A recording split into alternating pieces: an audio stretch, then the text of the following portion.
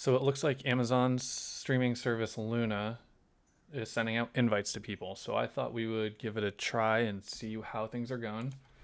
Just so people understand, I'm testing this on 300 down. So, you know, not a horrible connection to test something like this out on. Um, but yeah, let's see what we got. We'll log in. And you're introduced with a nice little setup screen. I don't have the controller yet, but I will give it a try once I purchase it. And I think we go to library, we can see everything. Which it looks like there are some cool games on here. Metro Exodus, Shantae, Yooka-Laylee if you're into that kind of thing. Um, let's see. I don't know. Let's give something I haven't tried to test. Interesting. Fakespot overlay is obviously a little weird on that, but interesting. Let's allow.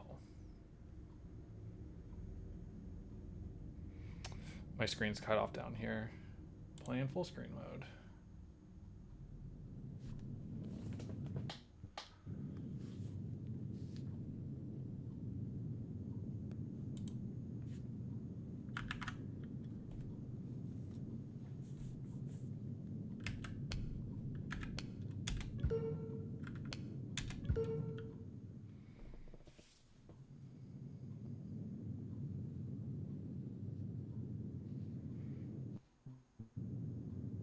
Little hiccup there. Obviously, it's in beta, so these are kinds of things that people are going to want to report. But who knows? We'll see. We'll jump right in and see how things are going.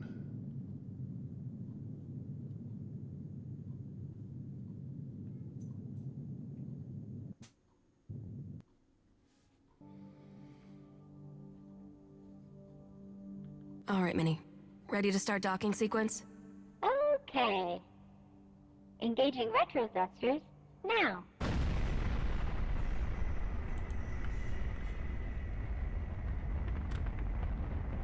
Lunar transfer station.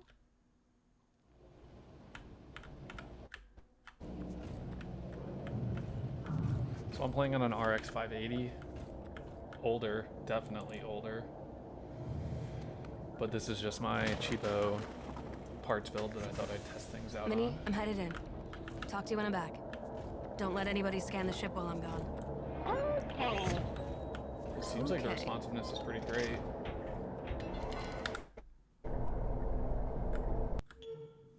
Ooh, interesting. Save and quit. Exit game. Interesting. Well, minor issues. Well, for now, I'm going to just keep playing around for a little bit, but I thought I'd give an example. I'm going to go back to the library for anyone that wants to see the full list of games slowly. Um, a lot of them look like indie titles, and some of them are, you know, bigger names. SteamWorld Dig would be fun to play. But interesting. Yeah, let me know what you think. Anything you want to see, go ahead and comment that down below. And uh, yeah, I'll keep on making videos about this as I keep testing it out. As always, thanks for watching, guys, and have a great rest of your day.